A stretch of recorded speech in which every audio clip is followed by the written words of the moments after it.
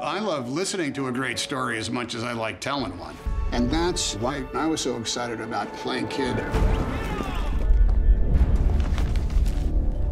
He is a storyteller.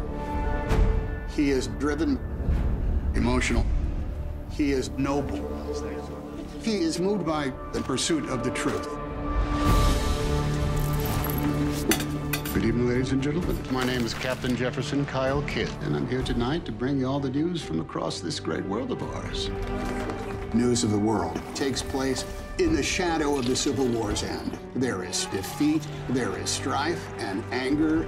These are difficult times. And maybe just for tonight, we can escape our troubles and hear the great changes that are happening out there. Because of the war, Kidd came back to having nothing left reading the news gave him a purpose. He got up, he collected the stories, he delivered a reading, and then he moved on to the next town.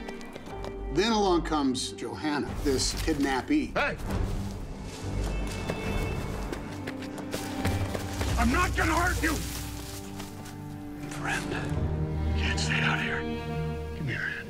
She has no idea who her family is. The Kiowa took you when they attacked your family.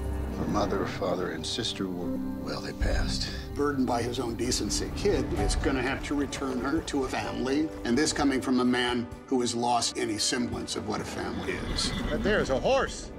Horse. Captain. Make no mistake, Captain.